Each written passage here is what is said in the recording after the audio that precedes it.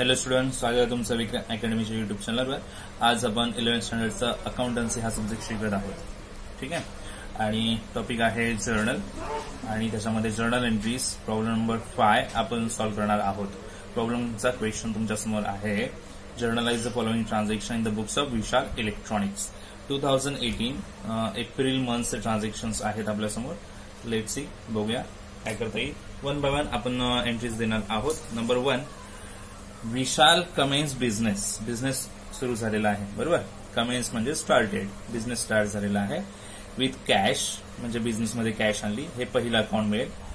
नंतर फर्निचर आणलेलं आहे सिक्स्टी थाउजंडचं आणि बिल्डिंग आणलेलं आहे ओके इथे सांगते ही ऍडजस्टमेंट सो कॅश फर्निचर आणि बिल्डिंग अशा तीन असेट्स बिझनेसमध्ये येत आहेत. बरोबर?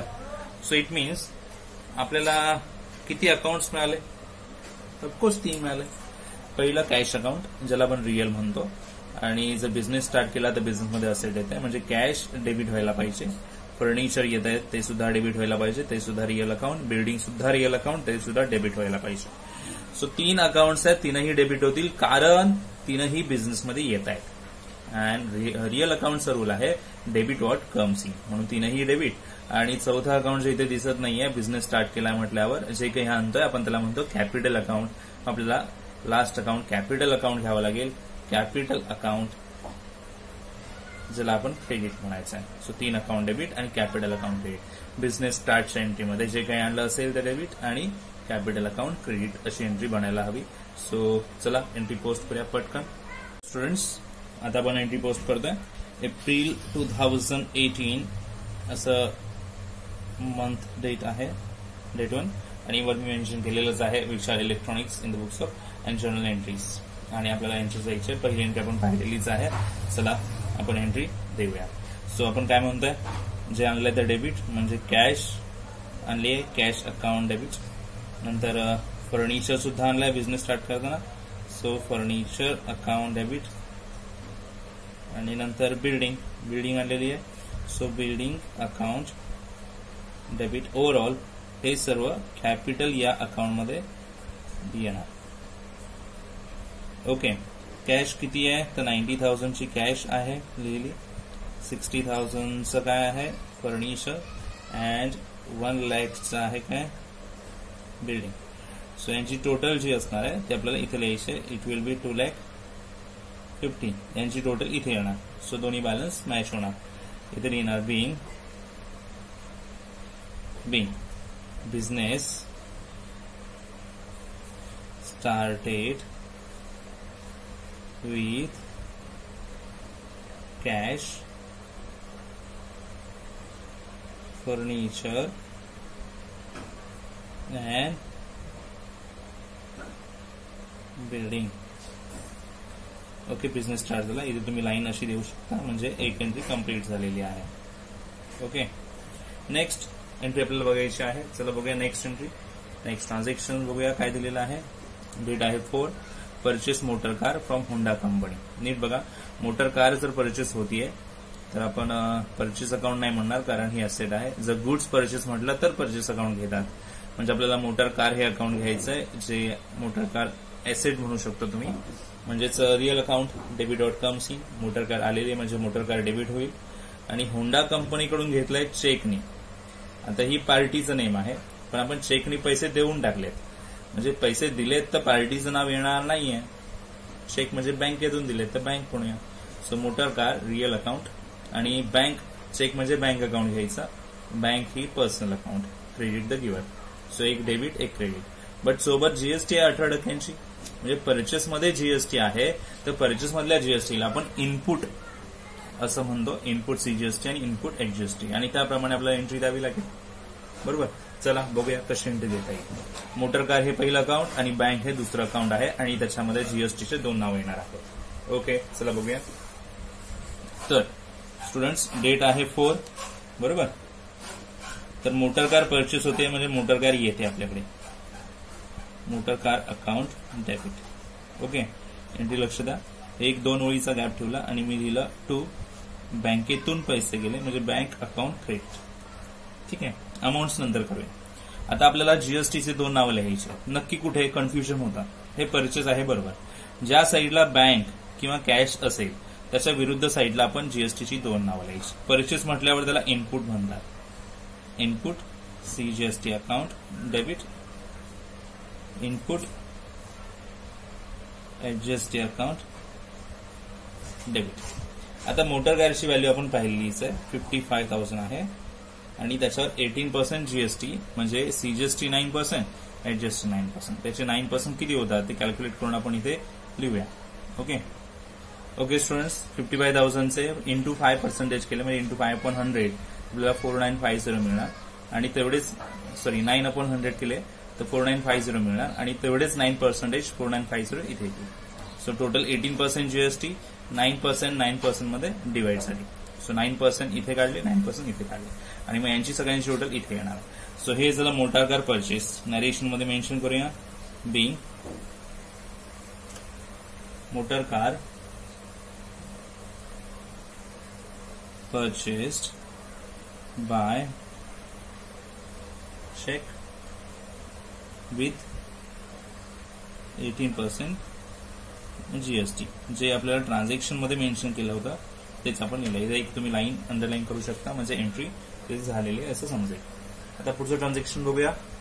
ओके येस ट्रान्झॅक्शन आहे date फायचा paid insurance of the above car three thousand to United India insurance company तर वर जी असेट आली आहे त्याच्यावर इन्शुरन्स देण्याचा खर्च झालेला आहे. इन्शुरन्स हा एक्सपेन्स असतो. इन्शुरन्स आपण पे करतो. ओके त्या कारवर इन्शुरन्स प्रीमियम देणार आहोत आपण इन्शुरन्स कंपनीकडे म्हणजे हा इन्शुरन्स देणं आपल्यासाठी खर्च असतो. सो हा एक्सपेन्स आहे आणि एक्सपेन्स पेड करण्याची एंट्री घ्यावी लागेल.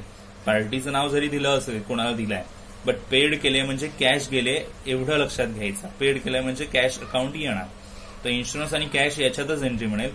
पार्टीचं नाव घ्यायची गरज नाहीये. इन्शुरन्स अकाउंट आणि कॅश अकाउंट असे दोन अकाउंट इन्शुरन्स हा नॉमिनल अकाउंट म्हणतो एक्सपेन्स आहे म्हणजे आपण त्याला डेबिट म्हणायला हवं हो की नाही? इन्शुरन्स आणि कॅश गोज आउट होते म्हणजे कॅश क्रेडिट म्हणायला हवं. सो दोन नावं एंट्री म्हणे इन्शुरन्स डेबिट आणि कॅश क्रेडिट थ्री थाउजंड रुपीजसाठी चला एंट्री देऊया. एंट्री आहे फाय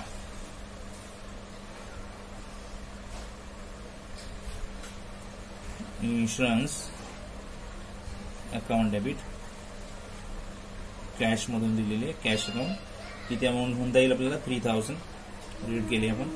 एक डेबिटला आणि एक क्रेडिटला डेबिटचे डेबिटच्या समोर क्रेडिटचे क्रेडिटच्या समोर. आणि आता इथे लिहिणार आपण being insurance paid okay yes entry end झालेली आहे. पुढची एंट्री बघूया. Okay students entry number ten जिस date ten paid in to State Bank of India rupees forty thousand paid केलेत. म्हणजे काय पेड केले? अगेन कॅश पण कुठे? बँक ऑफ इंडियामध्ये म्हणजे एक प्रकारे डिपॉझिटच केला. ओके ना? तर स्टेट बँकेने रिसिव्ह केलं असं म्हणूया. म्हणजे स्टेट बँक रिसिव्हर झाली. ओके ना? आणि कॅश आपल्याकडून गेले म्हणजे cash goes out cash credit होईल. म्हणजे सरळ आपल्याला एक डेबिट अकाउंट आणि क्रेडिट अकाउंट मिळत आहे ना? State Bank of India receiver आहे म्हणून डेबिट आणि कॅश आपल्याकडून जाते गोज आउट म्हणून क्रेडिट फोर्टी थाउजंडसाठी एंट्री द्यावी लागेल. डेट आहे टेन एप्रिल. चला एंट्री देऊया. Okay State Bank of India receiver आहे. म्हणून State bank of India account debit करूया.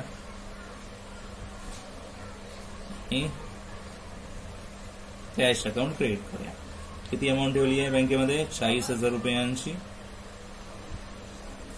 एक डेबिटची अमाऊंट एक क्रेडिटची Bing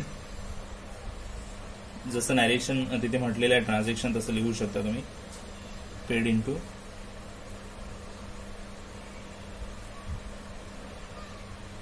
State Bank of India okay आता टेन डेट झाल्यानंतर पुढची डेट आपल्याला बघायची आहे. बघूया. डेट आहे twelve paid for salary and then again paid म्हटलंय. पेड म्हटल्यावर काय पेड होणार? कॅशच क्रेडिट होणार. सो कॅश गोज आउट म्हणजे कॅश क्रेडिट होईल. सॅलरी हा एक्सपेन्स आहे रेंट हा एक्सपेन्स आणि दोन्ही एक्सपेन्स डेबिट होणार because nominal account rule debit all expenses and losses so salary account debit आणि रेंट अकाउंट डेबिट असं आपण म्हणूया. ठीक आहे? चला लक्ष द्या. डेट आहे twelve salary account debit rent सुद्धा आहे. दोन्ही घेऊया. डेबिट आणि पेड काय केलंय? तर कॅश पेड म्हटलं की कॅश पेड होते. ओके सॅलरी टेन थाउजंडची आहे. डेबिट नाव असल्यामुळे डेबिटमध्ये हे सुद्धा डेबिट आहे. म्हणून डेबिटमध्ये लिहूया. किती आहे rent three thousand total amount thirteen thousand लिहिली being paid for salary and rent ते लाईन तुम्ही देऊ शकता. म्हणजे एक ती एंट्री कंप्लीट झाली आहे. आता आपण नेक्स्ट एंट्री रीड करूया. ठीक आहे? चल लक्ष द्या. Fifteen bought goods from Rajesh eighty thousand and paid him one fourth amount in cash immediately तर बघा. बॉट म्हणजे परचेस ओके गुड्स परचेस झालेलं आहे राजेशकडून. आणि त्याला पूर्ण अमाऊंट नाही देत अजून. एकशे चार अमाऊंट देतोय. म्हणून आपण फोर्थ अमाऊंट आपण पेड करतोय. म्हणून कॅश अकाउंट पण येणार. फक्त परचेसची एंट्री जर म्हणायची तर परचेस आणि राजेश असं नाव घ्यावं लागेल. बॉट गुड्स ना? तर गुड्स अकाउंट थोडी ना घेतात आपण. परचेस म्हणायचं असतं. सो परचेस अकाउंट आणि राजेश अकाउंट दोन अकाउंट असणारच आहेत. आणि कॅश पण देतो म्हणून आपण कॅश अकाउंट पण घ्यावं लागेल. म्हणजे तीन नावं घ्यावी लागतील अकाउंटची आधी main basic purchase entry decide करूया. कॅश त्याच्यामध्ये ऍडजस्ट करूया. परचेस एंट्री काय येते? परचेस म्हणजे एक्सपेन्स म्हणजे नॉमिनल अकाउंट आणि आपण नॉमिनलचा रूल जर पाहिला तर डेबिट ऑल एक्सपेन्सेस म्हणजे परचेस हा डेबिट व्हायला पाहिजे आणि राजेश हा क्रेडिट व्हायला पाहिजे. कारण तो पर्सनल अकाउंट आहे debit the receiver credit the giver आपण त्याच्याकडून घेतोय म्हणजे तो गिव्हर आहे म्हणून तो क्रेडिट आणि मग कॅश गोज आउट होणार कारण आपण लगेच कॅश देणार आहोत म्हणजे कॅश पण क्रेडिट होईल. सो अशा प्रकारे तीन नावांमधली एंट्री ही बनणार आहे. ठीक आहे बघा डेट आहे फिफ्टीन ओके लक्ष द्या. डेट आहे फिफ्टीन ओके परचेसची एंट्री आहे. म्हणजे आपण म्हणूया परचेसेस अकाउंट डेबिट नॉमिनल अकाउंटच्या नियमाप्रमाणे डेबिट ऑल एक्सपेन्सेस लिहिले. नंतर ज्याच्याकडून घेतलाय त्याचं नाव बिकॉज तो गिव्हर असणार आहे राजेश अकाउंट. आणि कॅश पेड केले ना आपण म्हणजे कॅश गोज आउट म्हणजे कॅश अकाउंट सुद्धा नाव घेणार ठीक आहे? तर टोटल परचेस झाला एटी थाउजंडचा लगेच इमिजिएटली पेड किती झाले? एकशे चार. ऐंशी हजार असे. एकशे चार किती? येतात इथेच करूया रोखमध्ये वीस हजार कॅश इमिजिएटली पेड होतीये. सो ती क्रेडिटला आपण ठेवली. मग बाकी आहेत जे याच्यातला डिफरन्स जो आहे तो राजेशच्या नावाच्या समोर. इथे लिहूया being Kareena purchase goods from Rajesh purchased goods from Rajesh on credit क्रेडिटवरच घेतल्यासारखं आहे सगळी अमाऊंट देत नाही ना पण.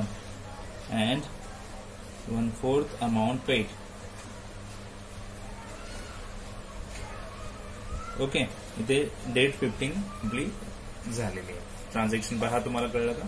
इथे तुम्ही एक लाईन देऊ शकता. आता आपल्याला पुढची एंट्री बघायची आहे स्टुडंट्स बघा एटीन डेट आहे. कॅश सेल झालाय. तर कॅश सेलची एंट्री काय म्हणते? तर सेल हा इन्कम आहे म्हणून क्रेडिट आणि कॅश मिळणार आपल्याला म्हणजे cash comes in cash debit होईल आणि सेल क्रेडिट होईल. अशी नॉर्मल एंट्री फॉर्म होईल बट जीएसटी आहे सोबत फाय पर्सेंटचा फाय पर्सेंटचा जीएसटी म्हणजे नक्की किती अमाऊंट होईल ते आपण शोधूया. ठीक आहे? म्हणजे याच्यामध्ये जीएसटी असणार आहे. सेलच्या वेळेस जो जीएसटी असतो त्याला आपण आउटपुट सीजीएसटी आणि आउटपुट एचजीएसटी असं म्हणतो आणि दोन नावं जीएसटीची तिथे येणार. ठीक आहे? तर कॅश सेलच्या एंट्रीनंतर आपण जीएसटी त्याच्यामध्ये फॉर्म करूयाच ठीक आहे. चल एंट्री देऊया याची. डेट आहे एटीन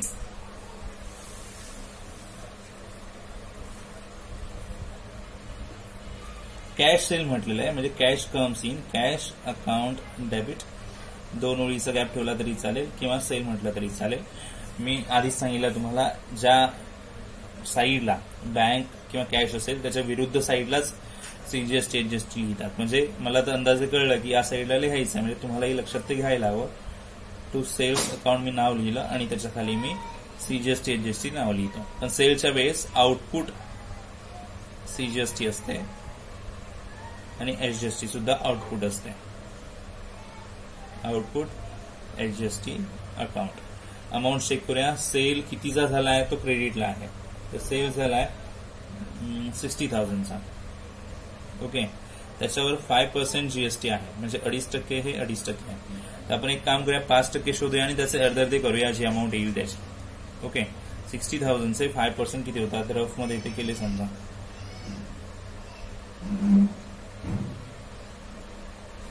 तीन हजार होते. म्हणजे अर्धे पंधराशे जी सीजीएसटी आणि पंधराशे एचजीएसटी आणि टोटल जे आहेत ते सिक्स्टी थ्री थाउजंड इथे कॅशमध्ये आलेले आहे. मी नरेशन आपण देणार. काय? Good sold for cash at five percent GST हे ट्रान्झॅक्शन कंप्लीट झालं. ठीक आहे? आता एटीन नंतर पुढचे डेट आपल्याला बघायची आहे ती म्हणजे आहे twenty receive rent and commission आपल्याला रेंट मिळालं आणि कमिशनही मिळालं. म्हणजे मिळाले काय? पैसेच मिळाले ना. म्हणजे कॅश हे अकाउंट आहे ते इथे सरळ लिहिलं नाहीये कॅश. रिसिव्ह म्हणजे पैसेच मिळणार. आपल्याला लक्षात घ्यायचे ते. कॅश हे अकाउंट आहे आणि कॅश कम्स इन हे डेबिट म्हणेल. रेंट हा इन्कम झाला कमिशन हा इन्कम झाला कारण आपण रिसिव्ह करतोय. म्हणजे इन्कम क्रेडिटला असतात म्हणून रेंट आणि कमिशन हे क्रेडिटला गेले रेंट मगाशी आलं होतं इथे. पण त्यावेळेस ते पेड म्हटलं होतं. म्हणजे तो खर्च झाला ना ज्याच्यासाठी आपण अमाऊंट देतो तो खर्च होणार. इथे अमाऊंट मिळते आहे म्हणजे हा इन्कम आहे. So income credit. Okay so cash debit होईल आणि हे दोन्ही इन्कम क्रेडिट होतील. अशी एंट्री मिळेल वीस तारखेची. चला देऊया पोस्ट करूया इथे. ट्वेंटी डेट काय मिळतं आपल्याला? कॅश कॅश अकाउंट डेबिट तो इन्कम म्हणून मिळत आहे रेंट बरोबर? आणि दुसरं काय मिळत आहे? कमिशन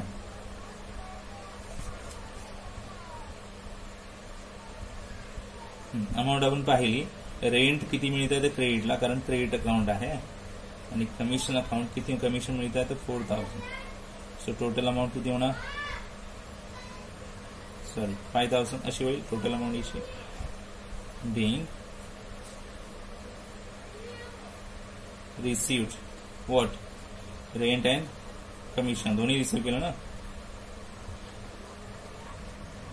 ओके चलो ही पण एंट्री झाली आपली.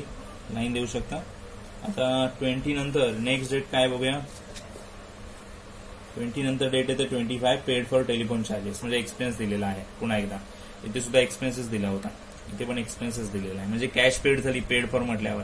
आणि हा एक्सपेन्स डेबिट होईल. टेलिफोन चार्जेस टू कॅश अशी एंट्री घ्यावी लागेल. सिंपल एंट्री ओके डेट काय घेऊया आपण? Twenty five okay so telephone charges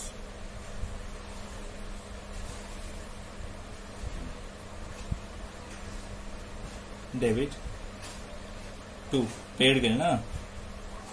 cash account किती one thousand five hundred one thousand five hundred being paid for.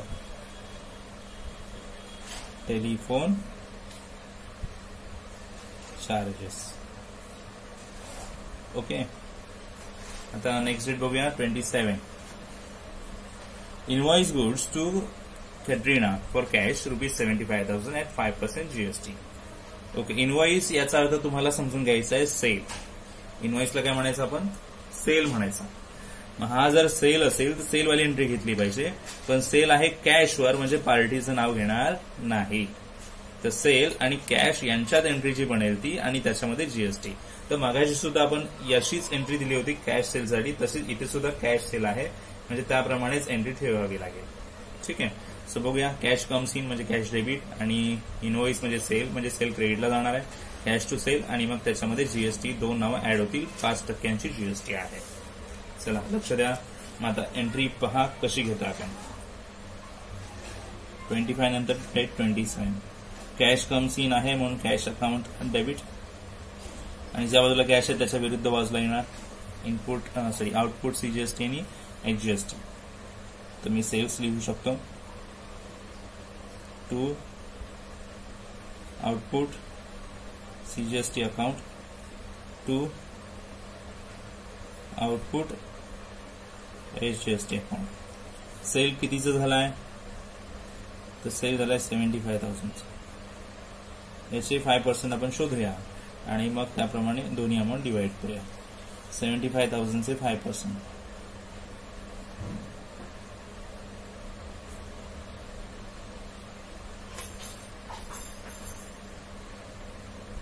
आणि दोन्हींची हाफ करायची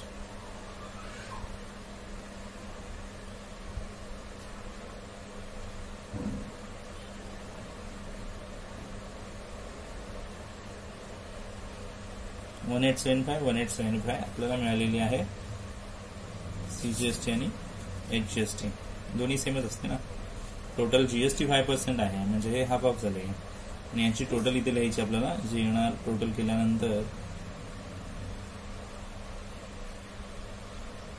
78 750 narration Kalina.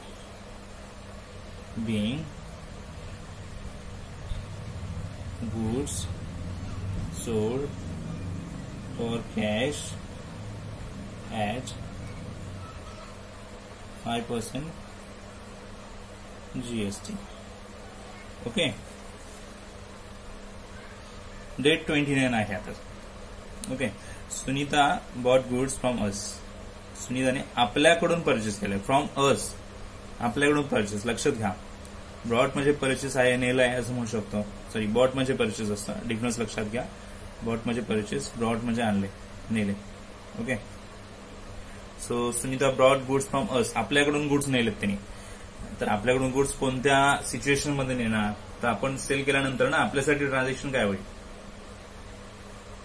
सेल म्हणजे आपल्याला सेल एंट्री द्यायची आहे. Okay so forty five thousand amount आहे आणि फाय पर्सेंट जीएसटी आहे. सेलची एंट्री देणार आपण. तर बघूया आता सेलची एंट्री अमाऊंट पेड केली असं कुठे म्हटलंय का? तर नाही आपल्याला पार्टीचं नेम घ्यावं लागेल सुनीता. ठीक? आहे तर डेट आहे ट्वेंटी नाईन पार्टीचं नेम सुनीता. कारण आपल्याकडून नेते म्हणजे ती रिसिव्हर झाली. ओके टू सेल्स अकाउंट आणि इथेच लिहिणार आउटपुट नेहमीप्रमाणे sales एंट्रीला CGST account to output SGST account सेल्सची amount आहे आपल्याकडे फोर्टी फाय आता फाय पर्सेंट जीएसटीचे आहेत बरोबर? जर फाय पर्सेंट जीएसटीचे आहेत तर टू अँड हाफ पर्सेंट इथे टू अँड हाफ पर्सेंट इथे. पण आपण काय करूया? फाय पर्सेंट शोधूया आणि अमाऊंटच अर्धी अर्धी करूया. फोर्टी फाय थाउजंडचे घेणार आपण कॅल्क्युलेशन्स ओके इथे रफमध्ये करूया तुम्ही रफमध्ये दुसरीकडे कुठे करू शकता फाय पर्सेंटेज घेऊया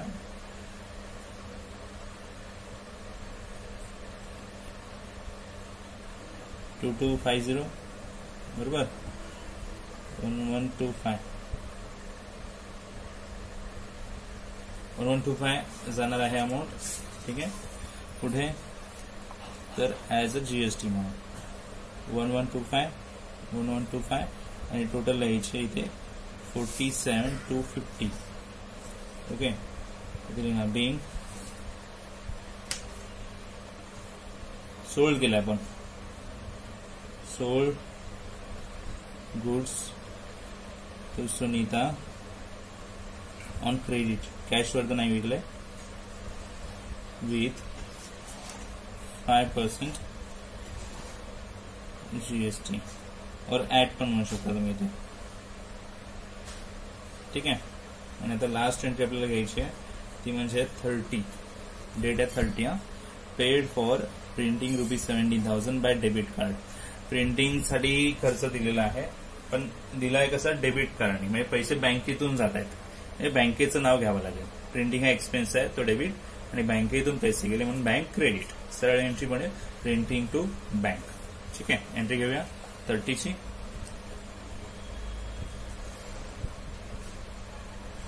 printing account debit okay to बँकेतून पैसे गेलेत. तर आपण म्हणूया बँकेचं नाव दिलं होतं ना या प्रॉब्लेममध्ये? तीच बँक म्हणावी लागेल. बँक बदलत नाही. स्टेट बँक ऑफ इंडिया म्हणावं लागेल. जे दिलं होतं. प्रिंटिंगची अमाऊंट आहे seventeen thousand seventeen thousand being काय ना being narration paid for printing ना? ओके त्याला स्टेशनरी पण होऊ शकतो तुम्ही. मी प्रिंटिंग म्हणता. प्रिंटिंग कसे दिले? बाय डेबिट कार्ड ओके आणि इथे एंट्री संपलेल्या आहेत तुम्हाला आय होप प्रॉब्लेम समजला असावा. ठीक आहे? असंच भेटूया आपण पुढच्या व्हिडिओ व्हिडिओमध्ये तोपर्यंत गुड बाय टेक केअर